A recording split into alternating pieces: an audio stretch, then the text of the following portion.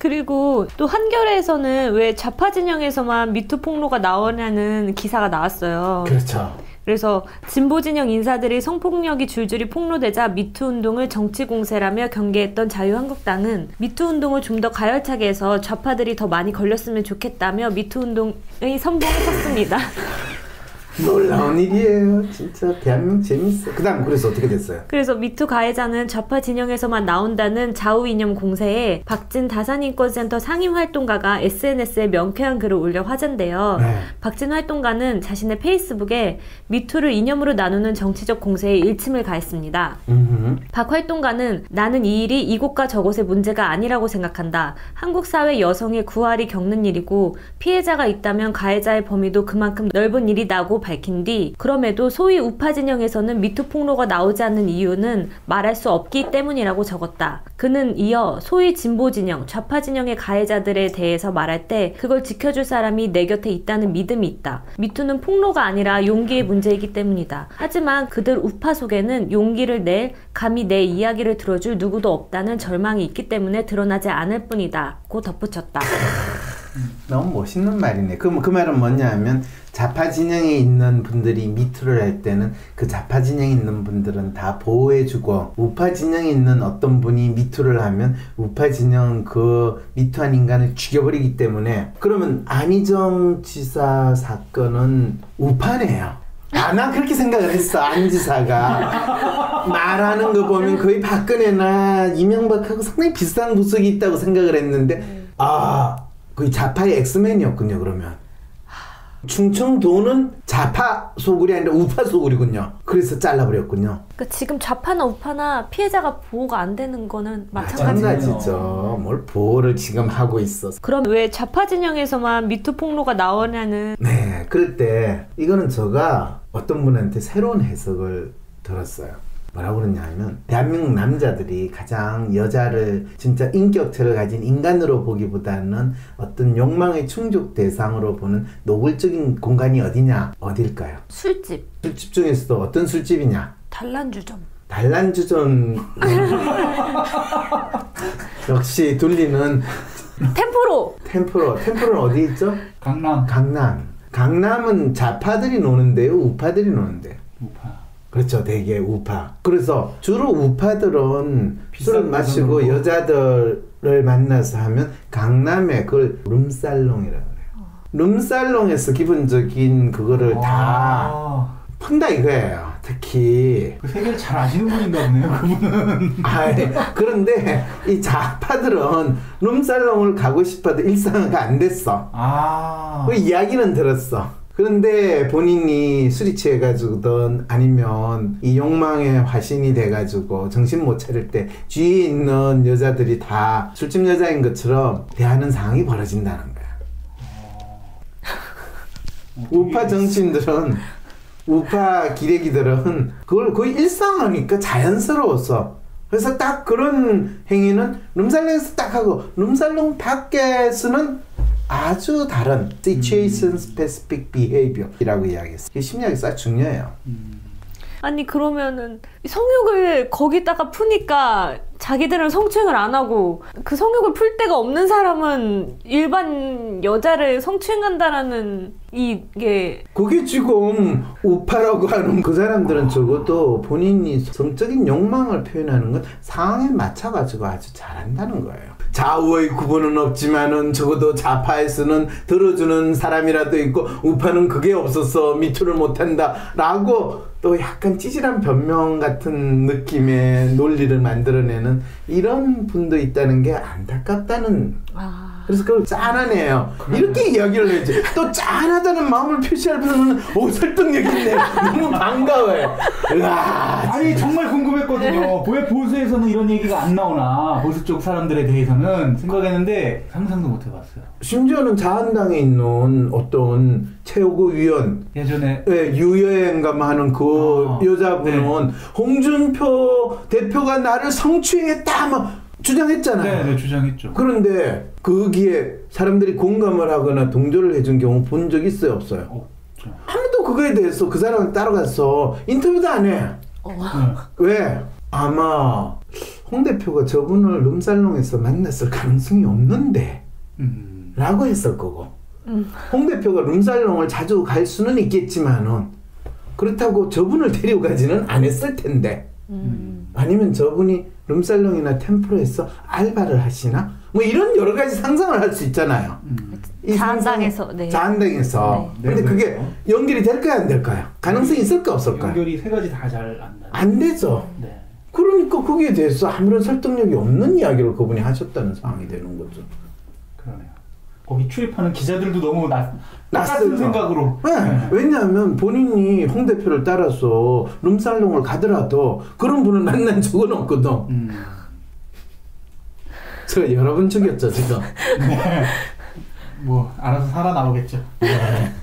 여러 궁금한 거에 대해서 이제 확실하게 설명을 제가 했나요? 네. 네. 또 보수에서는 진보는 자신들의 성벽을 지키기 위해 성폭행을 묵과한다는 기사를 냈어요. 그거는 그냥 보수에서 지들은 돈이 많았어. 어, 룸살롱에서 다 해소하니까 돈 없는 애들이 찌질하게 논다. 뭐 이런 거를 돌려서 이야기하는 수준이죠. 뭐. 그래서 그걸 진보 보수 평가를 하면서 이야기하니까 그러고 보니까 갑자기 있는 자와 없는 자의 욕망을 충족하는 각기 다른 방식이 이 한국 사회에서 희한한 현상을 만들어낸다는 그런 느낌까지 드니까 더 짠하네요. 짠하죠. 네. 저는 그래서 미아리 무슨 용산 이런 사창가를 개발이란 이름으로 없애버리려고 그 난리를 쳤던 그 정치권들에 있던 사람들의 그 행태가 더 가관이다라는 생각이 들 거예요.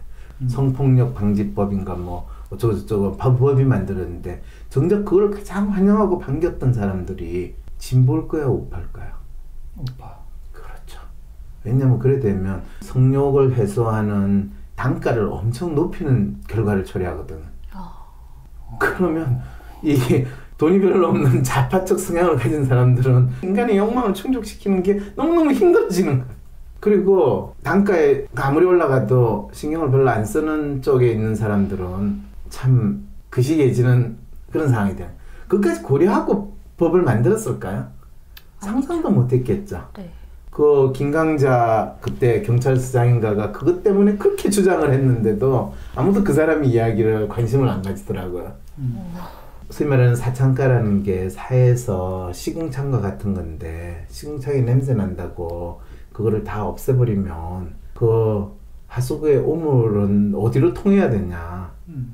차라리 잘 시궁창을 정하고 복귀를 잘 해가지고 안 보이게 하고 멀리 주택지로부터 벗어난던지 한 지역만 딱 하면 그쪽은 건전한 상식을 가지거나 뭐 본인이 도덕적인 사람은 안 가면 될 거고 그렇잖아요 아무리 우리 깨끗하게 한다 하더라도 하루에 한두 번씩 우리는 배설물을 만들어내잖아요 음.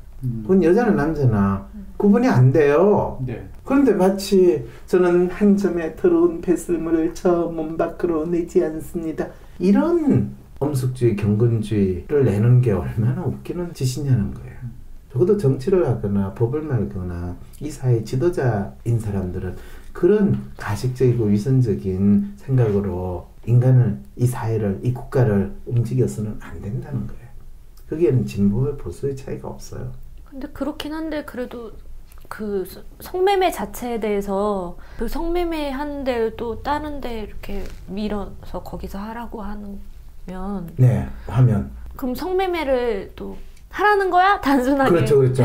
성매매를 하라고 하는 이야기예요. 하지 말라는 이야기예요. 아니면 그거하고 관계 없는 이야기예요.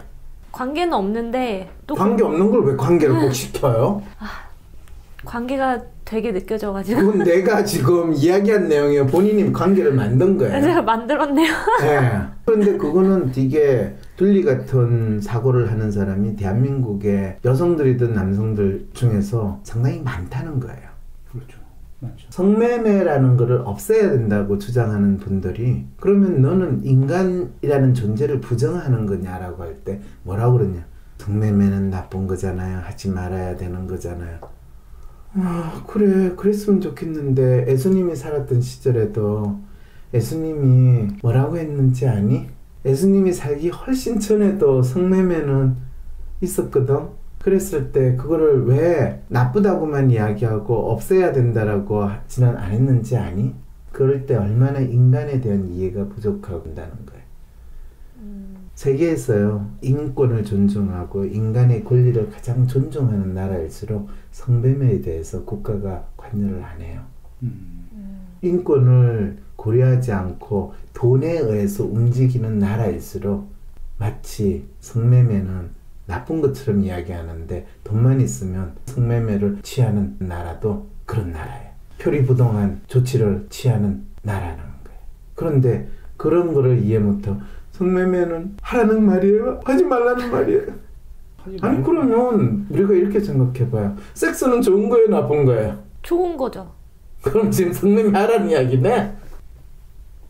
성매매는 나쁜 겁니다.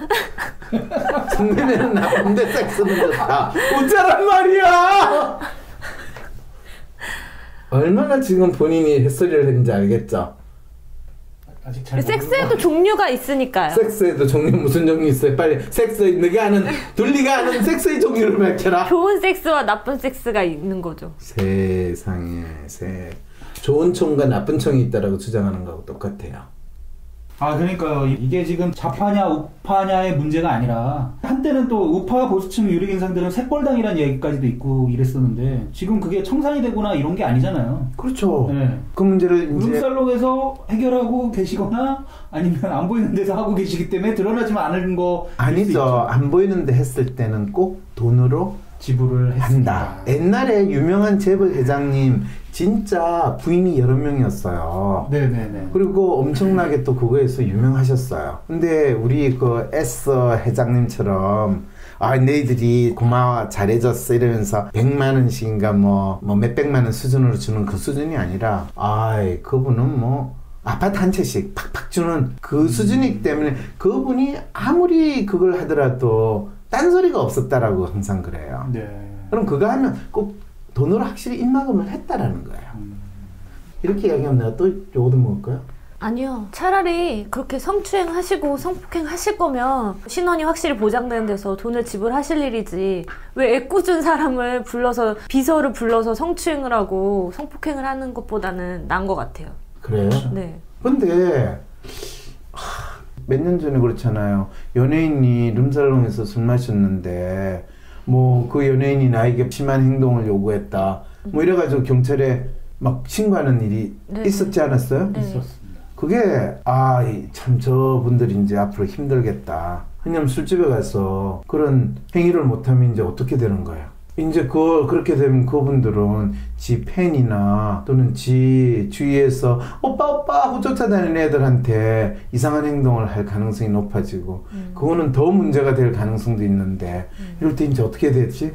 이번에 미투 처음 나왔을 때 뭐 자기 단원들 뭐 어떻게 했다부터 시작해가지고 후배를 어떻게 했다 뭐 이렇게 나올 때 다 찌질하고 돈 없는 인간들이니까 저런 짓을 더 할 수도 있었겠구나라는 해석을 하게 되면 또 내가 요거도 묻겠죠. 그러니까 자기의 욕구나 욕망을 정확히 아는 게 중요한 거 아니에요? 그걸 정확하게 어떻게 아니까 아니까 그런 희한한 짓을 했죠. 이거는 욕구와 욕망을 정확히 아는 거의 수준으로 끝나는 일이 아니에요. 자기의 욕구와 욕망을 정확히 알 뿐만 아니라 그것을 사회적으로 수용되고 도덕적으로 정당한 방법을 찾아야 된다는 거야. 그 두 가지를 동시에 하는 거는 참 쉽지 않지만 음.